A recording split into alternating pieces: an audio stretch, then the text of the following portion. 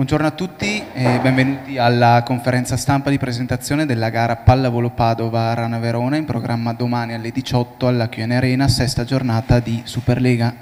Grazie coach per la disponibilità e come sempre ti chiedo di partire analizzando l'avversario che, che, ci aspetta e il momento insomma, della squadra. Grazie. Buongiorno.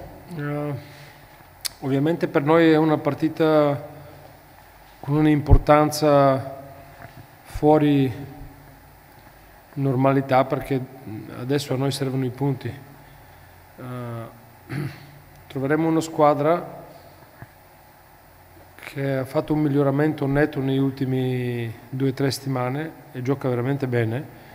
Tanto è vero che l'ultima partita con Modena loro uh, hanno sprecato secondo me un'opportunità importante come l'abbiamo fatto anche noi di perdere un set, mi sa che era da 23-21, che sembrava ormai compromesso e, e, non sono riusciti, ma questa è la mancanza di esperienza uh, la situazione secondo me è simile a quella nostra. Giocano bene, hanno uh, alcuni battitori che sbagliano poco e battono molto bene, come Gabi Garcia e come Gardini. Um, una squadra composta da come, proprio come filosofia loro rischiano tanto in battuta e quando la battuta entra fanno tanti danni. Uh, e questo è caratteristica loro da, da, dagli ultimi due o tre anni. Quindi dobbiamo stare molto bravi a ricevere e a tenere la palla buona se no diventa difficile giocare. Poi ovviamente hanno un mix tra i giocatori come Gabi Garcia uh, il libero che sono diciamo, giocatori con una esperienza mh, internazionale e alcuni giovani, perché la società di Padova è molto brava anche da mh, trovare e di costruire i nuovi giovani, che a me questo piace, come Gardini, come Desmet, come Porro, uh, un po' posso dire che assomigliano un po' a noi. Uh, una società che ha condizioni stupende di lavoro e quindi permette anche di far crescere i giovani. Eh, noi in questo momento siamo uh, nelle condizioni simili della settimana scorsa o due settimane fa, stiamo cercando di recuperare i giocatori, di... sarò felice quando avrò tutti in campo, ecco, diciamo così, per poterli allenare. E questo è il nostro uh, grande desiderio per, i, per le prossime settimane Uh, per adesso giochiamo con uh, le opportunità che abbiamo, però i punti sono molto importanti per noi. Buongiorno coach, facendo Buongiorno. un passo indietro a Catania sul 2-0, perso quel terzo set, sembrava che si riproponesse un po' la stessa situazione vista in altre partite, invece c'è stata una reazione furiosa della squadra che quella reazione lì può essere un punto di svolta per, in vista delle prossime sfide.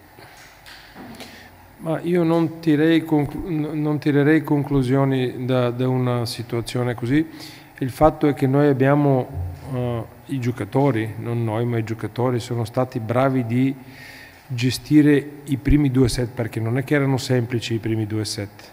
I primi due set erano punto a punto e quando serviva la squadra ha fatto le cose giuste in campo, così li abbiamo vinti. Il terzo, che sembrava vinto, con due possibilità di cambio palla consecutivi abbastanza buoni, con una recisione anche buona vicino alla rete, non siamo riusciti di fare, e un, e un altro contrattacco anche. E quindi lì inciamp si è inciampato il nostro meccanismo e subito si è, mm, dire, si è ripetuta la situazione delle partite contro Taranto, Modena e anche Monza ma noi abbiamo parlato tanto di queste situazioni prima delle partite, li abbiamo anche allenato, abbiamo spiegato cosa eh, dobbiamo fare in situazioni di questo genere e la squadra poi è reagita bene nel quarto set. Devo dire, è stato anche bravo Mosic perché mh, nel quarto set è partito in una maniera strepitosa, lui ha fatto, adesso non mi ricordo, 7, 8, 9 punti solo nel quarto set. Ma a me interessano poco i singoli, perché l'elezione di squadra e il comportamento in campo e il body language queste sono le cose che, che fanno differenza nei momenti così. Uh, fa parte della crescita, dobbiamo lavorare tanto. Non penso che uh, abbiamo risolto il problema, uh, però si è visto una buona reazione e un risultato in queste partite molto positivo. E guardando un po' i numeri, le percentuali però in generale, quindi sono numeri non, eh, che danno un, una visione abbastanza generale. Eh, Rana Verona sembra che abbia, secondo le percentuali, più problemi in, eh, in battuta e in ricezione rispetto alla media delle altre squadre. Eh, secondo te questo quanto sta influendo sulle prestazioni e quando secondo te potrà sistemarsi questa questi due fondamentali? Non sono d'accordo, noi sbagliamo pochissimo in, in, battuta rispetto a altre squadre, il nostro margine di errore è molto basso. Uh, non produciamo tanti danni, magari lei ha guardato gli ace probabilmente, sì, ma questo non, non, vuol dire la battuta, la battuta è eh, un equilibrio tra le battute sbagliate e i danni fatti, non solo gli ace. Noi in questo momento grandi... Uh, uh, battitori che producano tanti ace non li abbiamo. Uh, per il futuro di sicuro saranno uh, Javoronok, Sanni e Keita. Non sono ancora pronti per diversi motivi, però sì, eh, e questo mi aspetto di migliorare in, nei prossimi due o tre mesi. Uh, come percentuale di ace o di punti diretti o di slash eccetera però nel resto la nostra battuta è molto equilibrata.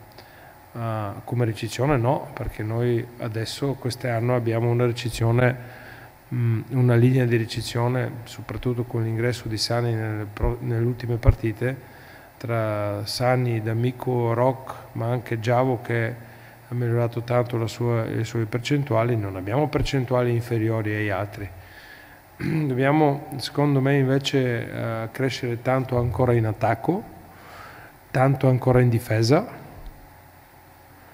e la costruzione di contrattacco, organizzazione de, della transizione, questo sì, dove le squadre forti, se prendiamo ad esempio Perugia, Trento, Civitanova, Piacenza, loro sono molto bravi e molto forti nelle fasi dell'attacco ma anche nel contrattacco Lì ancora abbiamo di, tanto di lavorare e tanto di crescere.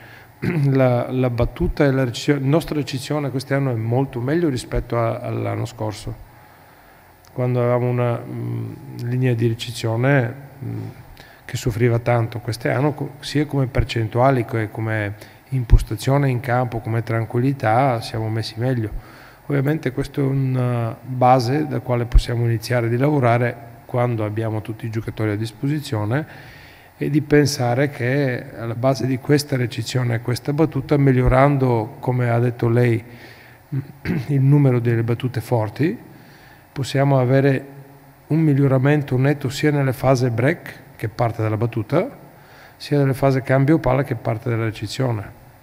Spero di averlo il mese di gennaio proposito appunto dei giocatori da recuperare, come stanno? Spirito? Eh, Spirito bene. Bene. E, e, gli altri? Quali ci sono altri problemi? Giocatori che sono...